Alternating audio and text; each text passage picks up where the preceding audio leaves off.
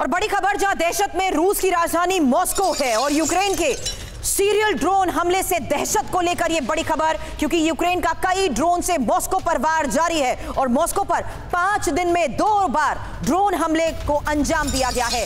अब किस तरीके से मॉस्को में अलग अलग जगह हमले को लेकर यह बड़ी खबर आ रही है, इस बारे में डिटेल जानकारी आपके सामने होगी, लेकिन अब देखिए किस तरीके से दहशत में है रूस की राजधानी मॉस्को। सीरियल ड्रोन अटैक को लेकर दहशत है और यूक्रेन के कई ड्रोन से मॉस्को पर वार हुआ है। और यही वजह है कि पाँच दिन में दो बार ड्रोन हमले को अंजाम दिया गया है।